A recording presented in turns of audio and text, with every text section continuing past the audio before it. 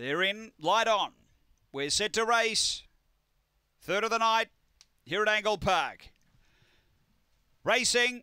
And out wide, Rouge begins quickly. Uh, going quickly, Hot Sophie as well. They drive to the first bend, and Boss McLaren's going to rail through and hold them all. Boss McLaren to the back by a length and a half on Rouge, a length and a half Weblek Arrow. Then came Power Burner, Hot Sophie. Five away came Zoological. And back at the tail, Mr. Kingswood off the back. Boss McLaren out by two and a half on Rouge. They were followed then by Power Burner, but straightening Boss McLaren clear and doing it well. And Boss McLaren goes on to win nicely. Uh, second is Rouge, so that pair qualify. Weblek Arrow third from Power Burner.